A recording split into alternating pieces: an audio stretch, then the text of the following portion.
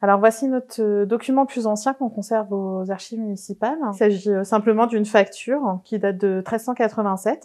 Bonjour, moi c'est Fanny et je suis archiviste pour la ville de Caen et Caen-la-Mer. Moi, mon métier, en fait, en tant qu'archiviste, c'est de récupérer, en fait, les archives qui sont produites par les différents services de la ville et de Camp-la-Mer, et aussi euh, de réceptionner, en fait, euh, tous les dons qu'on peut nous donner. Donc, euh, dans le cadre du 80e anniversaire du débarquement, donc, on reçoit, en fait, des dons. Donc, celui-là, c'est un don de, de, Gilbert Le Sage, en fait, vous voyez là, enfant. Donc, parmi ce don, en fait, il y a un, un témoignage de son papa, en fait, qui date du mardi 6 juin, à 5h13, euh, donc euh, il écrit euh, toute la nuit, bombardement lointain sur la côte. Madame Baudèche vient frapper et nous réveille et nous annonce que c'est le débarquement.